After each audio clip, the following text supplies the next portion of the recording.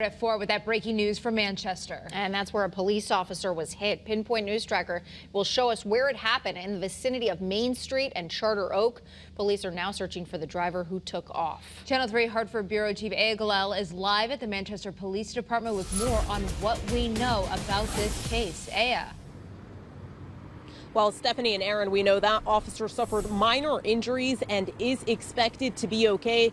But right now, police and investigators are still on the hunt for that suspect who struck that officer and then took off. We want to give you a look at some video we captured earlier this afternoon, right after that incident unfolded. This was all in the area of Main Street and Charter Oak Street this afternoon.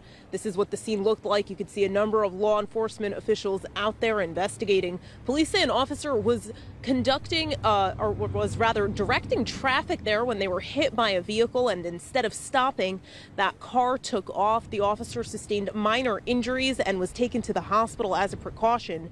Investigators are still on the hunt for the car and the suspect.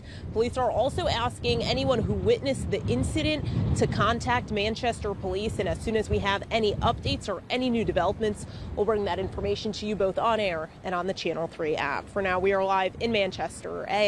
Channel 3 Eyewitness News.